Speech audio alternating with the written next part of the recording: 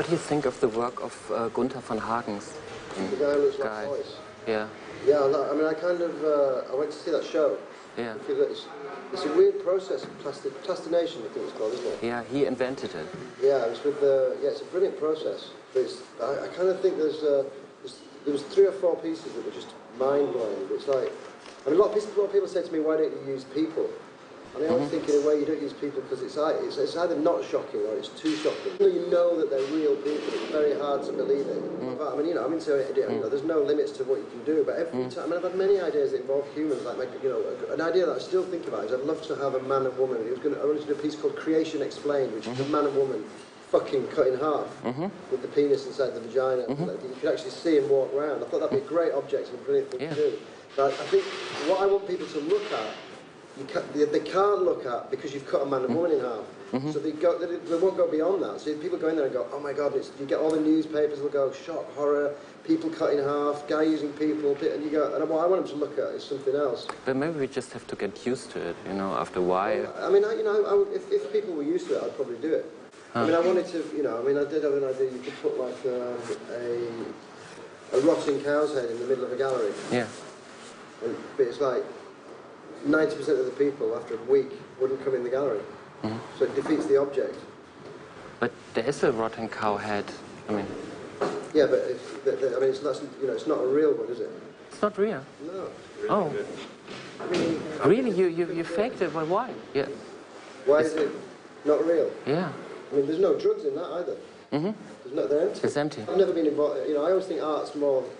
You know, there's something theatrical about it. So it's like you know, it's, you know, it has to be. Mm-hmm. If it looks real in an artwork, that's that's all you need to do. If it looks real, it is real. What is your prediction? When will there be the first one billion dollar art piece?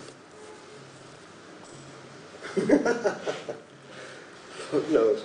I mean, it's it's bound to be like an old person. Isn't it? Maybe maybe it's already happened. hmm In, in which sense did it already happen? Well, it'd have to be. Uh, I mean, I suppose it'd have to be. but Maybe if uh, wasn't there talk that maybe Greece was going to have to sell the mhm. Pergamon, not the Pergamon, that's here. There were, you know, it was your, it was the Prime Minister saying that Greece should sell the Parthenon, wasn't it? Yeah, but I mean, of, of, like- of a living, I'm, I mean, of a living artist. And that raises the question: if if we said, if we said in 25 years, Mm-hmm. then it will be an artist you've never heard of. Mm. Then your question would be, what about a trillion? Mhm. You know, but I think you know, you know, you- you're not going to really get that. I mean, it's, you know, it's, just, it's a lot of money. Yeah, maybe it's just a question of size, and you just have to make an artwork that is big enough. I'd imagine it goes the other way. I'd, I'd imagine you have to be really small, Yeah. like a diamond. I remember yet that What's the most expensive material in the world? I think the radioactivity, like plutonium? plu- yeah, plutonium or polonium. You know this this uh, the German um, Secret Service they bought plutonium once, just a few grams, and and uh, it was amazing to buy enough plutonium to build a bomb. It cost something on the black market like 800 million, so you're pretty close to one billion just to get enough plutonium. Well, so great. If you just get two of those and sign them, there's your work. Yeah. Don't invite me to the opening though, without a suit. Mm-hmm. I need the suit. Um, imagine me, I'm, I'm 40 years old, I'm a, I'm a writer, and I would consider to become a really, really famous artist. What would I have to do? Would I have any chance, or I'm too old? Is it gone? Is there still, could I still? What, do you want to be a famous artist?